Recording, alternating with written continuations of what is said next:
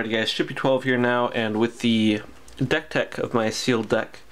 Unfortunately, I didn't win. I went uh, 1 and 2 and 1, actually perfectly tying the person I played in the last round.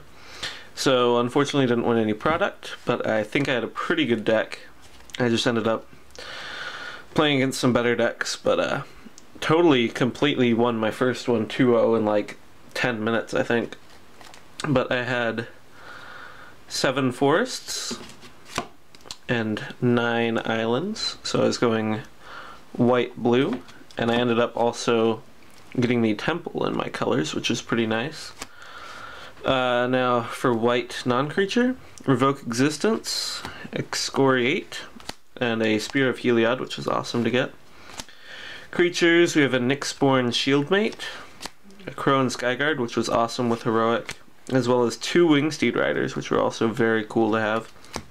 And an Observant Alseid, one of my favorite bestow cards, with a whole bunch of flyers, because I had a ton of them in this deck. Uh, Retraction Helix gave me a heroic and inspired trigger. Uh, two Nullifies was a great counterspell to have in the deck.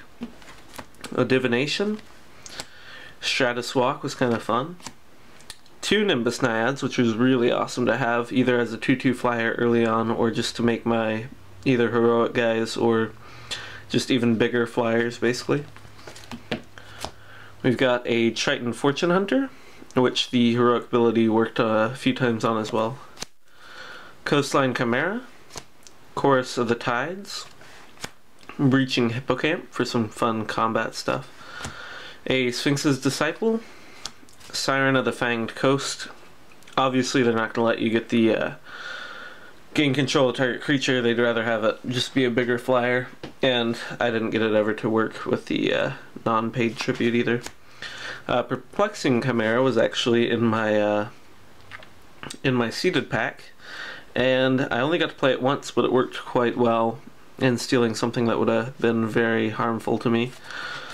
And last but not least, the promo card Arbiter of the Ideal. I also only got it in once, but well, in the last round, and it was pretty much ridiculous just to have out. I basically got a permanent off of it every time. So let me know how you guys did. Uh, let me know if you won anything and uh, what colors you picked as well. And thanks for watching. Please comment, subscribe, and keep watching for magic videos.